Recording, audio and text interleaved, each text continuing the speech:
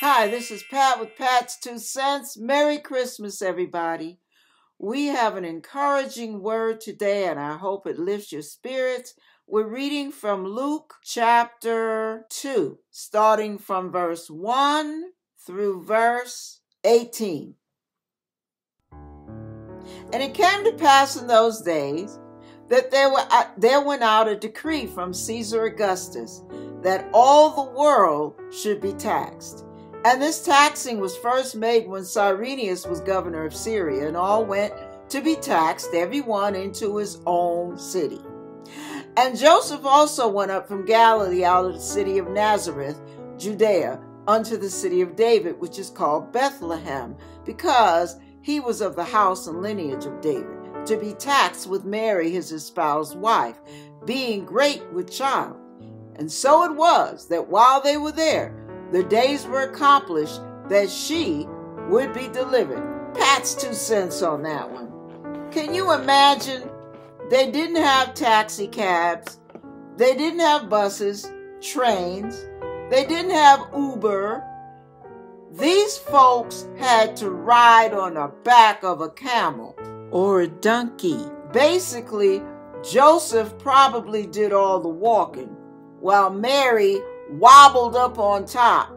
Full term pregnancy, uncomfortable for miles and miles and miles, and who knows how many days the trip took. Can you imagine her going through that? Being ready to give birth at any given moment. The discomfort. She was probably having uh, slight labor pains as she was approaching the city of Bethlehem. Then they found there was no room for them in the inn. So they couldn't find a hotel room. There was nowhere for them to sleep. Now, think about it. Think of the of the the tension in Joseph trying to find a place for his wife to give birth trying to find a place for them to lay down for the night. Imagine what Mary was going through. And this is the crazy part. They were on assignment, y'all. Mary was about to give birth to the Savior of the world, the divine Son of God, God incarnate, Jesus Christ. Yet they had all this crap to have to deal with at the same time. Mm. The thought of how life can pounce all on top of you and it's one challenge and one crisis after the other. And the crazy part is they were they were on the scene because they were to give birth to a miracle. The savior of all mankind. And there was no place for them to sleep except for a barn where there were sheep and oxen and all kind of, of, of cattle. Can you imagine the stench, the discomfort? No mattress now. No nice warm blankets. No nice fire built to keep you warm. They're cold. They're uncomfortable. They're tired. Imagine that. And here Mary in pain and labor. And they're bringing, they're birthing in the Messiah. And all this crap, all these inconveniences, no room, no space. They can't rent a hotel room. He can't put his wife in a bed. Wow probably no hospital around. How crazy. All right, let me continue to read. I'm painting a scenario so you can picture what a horrible situation they were in while they were being used divinely by God to usher in the Messiah of the world. Mm, mm, mm. Verse 6 And so it was. While they were there, the days were accomplished that she should be delivered. And she brought forth her firstborn son and wrapped him in swaddling clothes and laid him in a manger because there was no room for them in the inn. And there were in the same country shepherds abiding in the field, keeping watch over their flock by night. Now you got a bunch of men working the midnight shift. Mm-hmm. They're at the same level of, of, of garbage collectors or or maintenance workers. These aren't people of renown. These aren't high level politicians. These aren't people of royalty. These are ordinary Joes just trying to make a living, earning their keep, out there in the middle of the night, watching over their sheep. Wow, nothing glorious about who they are or what they're doing. Mm, mm, mm. Verse 9. Excuse me. And lo, the angel of the Lord came upon them, and the glory of the Lord shone round about them. And they were sore afraid. And the angel said unto them, Not unto the king, not unto the president, not unto the, the heads of state. The Lord said unto them, Fear not, for behold, I bring you good tidings of great joy, which shall be to all people. I mean, I'm not the Lord, but the angel was speaking to them. Sorry about that. All right. For unto you is born this day in the city of David a Savior, which is Christ the Lord. And this shall be a sign unto you. Ye shall find the babe wrapped in swaddling clothes, lying in a manger. Doesn't that sound poetic? wrapped in swaddling clothes, lying in a manger. Eh, listen, that baby was laying in a, they had to make his bed in a feeding trough. A big old compartment that animals feed out of. Couldn't have been the nicest smelling compartment for a baby to sleep in. But that's all that was there, y'all. For the Messiah Wow. Hmm. And suddenly there was with the angel a multitude of heavenly hosts praising God and saying, Glory to God in the highest, and on earth, peace, goodwill toward men. God means good toward you, y'all. God is on your side. He is for you, not against you. Mm, mm, mm. And it came to pass as the angels were going away from them into heaven the shepherds said one to another, Let us go even unto Bethlehem and see this thing which is come to pass, which the Lord hath made known unto us. And they came with haste and found Mary and Joseph and the babe lying in a manger, a feeding trough. Mm. And when they had seen it, they made known abroad the saying which was told them concerning the child. And all they that heard it wondered at those things which were told them by the shepherds. But Mary kept all these things and pondered them in her heart. Now listen, it was a very inglorious night. Now, it was miraculous that there was a star in the sky that led the three kings to the manger. But all that led up to the birth of Jesus was totally inglorious.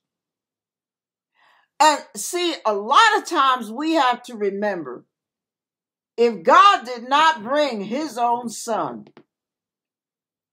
into royalty, if God did not bring his own son with splendor and pomp and circumstance and ceremonial glory.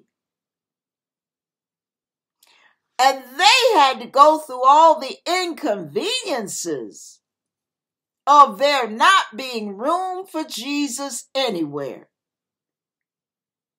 We have to remember that when we go through, just because it's inconvenient, just because it hurts, just because there are delays, just because there are denials in your life, does not mean God is beating down on you.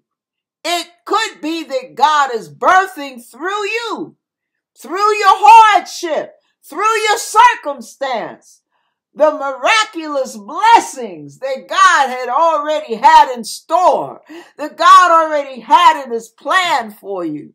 Imagine God loving you that much, but it doesn't feel like his love when you have to lay your baby in a feeding trough. It doesn't feel like God's love when you have to sleep in a barn, on the floor of a barn.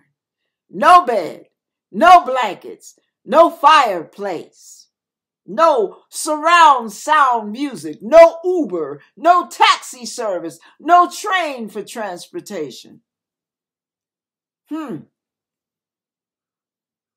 Sometimes when we're roughing it through life, that is the very passage. Listen, listen. That is the very passageway that God brings his miracle through. Sometimes God has got your blessing set up. Everything is in plan. Your promotion is coming. Your blessing is coming. Favor, abundant favor, miraculous blessings. But it seems like some have to go through the dirt. Some have to go through trials. Some have to go through the valley. Some have to go and be taxed. And it's a taxing situation. It's a tiring situation. It's a, it's a frustrating scenario that our blessing has to come through. Just like the miraculous birth of any child, pain comes before the game, does it not? So know that no matter what life is bringing your way, God's blessing is on the other side of it. One way or another, God has blessings on the other side of the pain. God has blessings on the other side of the hardship. God has blessings on the other side of your labor. Oh, of all the frustrations, of all the inconveniences, of the cost, of the unexpected mishaps, God has blessings waiting for you, even on the other side of a death of a loved one. Remember that. We always know during the Christmas holidays, it's a season of death. For some reason, a lot of people seem to pass during that season. So, while you're going through the mourning, while you're going through the frustration, while you're going through the fears, the anxieties, the turmoils, the upheavals, remember God is totally in control. And remember that word, goodwill toward men, that the angel said. God only wants goodwill towards his people. Know that God is on your side. Know that God is for you. No matter what life brings, no matter what happens to your family member, no matter what happens on the road, no matter what is going on in the government, no matter what's happening in your household, God is on your side. God loves you. You hear me? Ah. oh my goodness. When you think of how the most beautiful miracles are birthed in the middle of the night, the night season is the part of life we don't like. We don't like going through darkness. We don't like going through uncertainties. Ch- the chapters in our life that bring question marks, the chapters in our life that makes us wonder, does God love me at all? Does God hear when I call? There's a song that says, like peering through a window blurred with rain, emotions run together in a flood of doubt and pain. We've prayed as best we can. Now we must leave it in his hand. Yet I know when my eyes fail to see, he is able. And even if it seems impossible to me, he is able. And if he chooses not to move in the way we prayed he would, I'm confident he's working all together for my good. and I'll stand behind his word, for he is able. You hear me, y'all? Be encouraged. Let this Christmas season remind you of how much God has in store for you. Look at all that mankind got blessed by, by the birth, the coming of Jesus Christ, the advent of Jesus. He is here with us, God with us, Emmanuel. Oh, he is the most high. Let me read Isaiah because I like calling the names that Isaiah calls him. Isaiah chapter 9, verse 6 For unto us a child is born, unto us a son is given, and the government shall be upon his shoulders, and his name shall be called Wonderful, Counselor, the Mighty God, the Everlasting Father the Prince of Peace. And we praise and we glorify his holy name. We bless you, Lord, for all that came with you, for freedom, for deliverance, for salvation, for redemption. We praise you, Lord, for your favor. We praise you, Father, for being our Emmanuel, God with us. Thank you, Father for your son, Jesus Christ. Thank you for our Savior. Thank you for our deliverer. Thank you for our counselor. We bless and praise you, Father. We celebrate you with all of our heart. And we know, Lord, that with all that Joseph and Mary had to go through to bring this about, you have blessed so many lives, so many of our lives because of what they went through. Thank you, Lord. Thank you, Father. We bless and praise your holy name. Oh, thank you, Lord. Thank you. Okay, you guys, I got a little carried away, but bless him when you think about all the, the blessings and the miracles that God can bring out of darkness. No matter what happens, the people may dwell in darkness, but God shall bring light into our darkness at every turn. Lean on Him, call on His name. Oh, mm. bless Him and praise Him while you're going through. And watch Him work His miracles out of your darkness. In the name of Jesus, be encouraged here. God bless you. Amen.